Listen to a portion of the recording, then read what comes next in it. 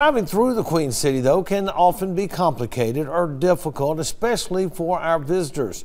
With the help of Visit Meridian, the Lauderdale County Board of Supervisors, and Mitchell Signs, the confusion on where to go has been resolved with new signage. This vision has been years in the making, and Visit Meridian is super excited to see Project Wayfinding come to fruition.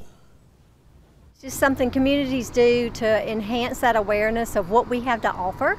So um, anytime you've got directions to say the Max, we're standing here in front of the Max, um, you know, our children's museum, our downtown attractions, and as we phase out into the rest of the, the county, that we can, you know, um, have those directions and get people to where they need to go. So um, it is a big part of getting people into our city and then showing them how to get to the places they want to go.